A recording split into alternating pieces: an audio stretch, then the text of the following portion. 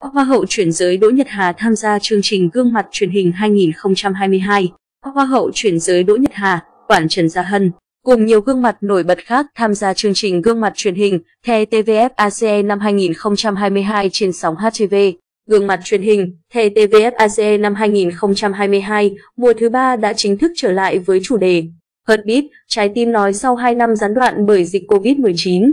Đây là chương trình thực tế do đội ngũ biên tập viên HTV sáng tạo và sản xuất nhằm tạo nên sân chơi cho các bạn trẻ mê nghề dẫn chương trình đồng thời phát hiện, đào tạo nhiều nguồn nhân lực lĩnh vực dẫn chương trình.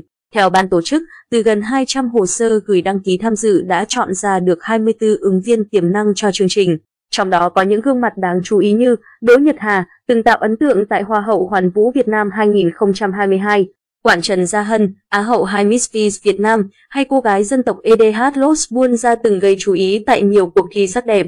Những gương mặt cực hot trong cộng đồng mạng cũng tạo được dấu ấn đầu tiên tại The TVF ACE như Vivian Đặng, nữ startup sinh năm 2000 có hệ thống trường ngoại ngữ thành công và hàng loạt clip chia sẻ tiếng Anh triệu view.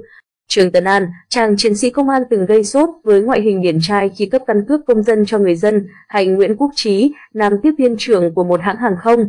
Điểm nổi bật nhất của mùa giải 2022 được nhà sản xuất công bố là chương trình vượt khỏi tầm vóc của TVSHOVK và phát triển thành dự án cộng đồng. Biên tập viên MC Tấn Tài, Đài truyền hình thành phố Hồ Chí Minh chia sẻ chương trình truyền hình hướng đến khán giả. Còn dự án cộng đồng của gương mặt truyền hình vừa phục vụ khán giả truyền hình vừa mang đến những giá trị thiết thực cho cộng đồng. Để làm được điều đó, chương trình đào tạo kỹ năng sẽ được thực hiện bằng chuỗi talk show. Ở đó chúng tôi chào đón tất cả bạn trẻ cùng tham dự và sẻ chia. Nhà sản xuất The TVFAC khẳng định mục tiêu vì cộng đồng người đam mê nghề MC nói riêng và công chúng nói chung sẽ là định hướng chủ đạo. Thay vì chú trọng việc tạo các tình huống drama để có các chất liệu kịch tính trong các tập phát sóng, chương trình tập trung vào những trải nghiệm cho ứng viên. Gương mặt truyền hình, thẻ TVS ACE năm 2022, mùa thứ ba sẽ lên sóng HTV vào đầu tháng 12 năm 2022.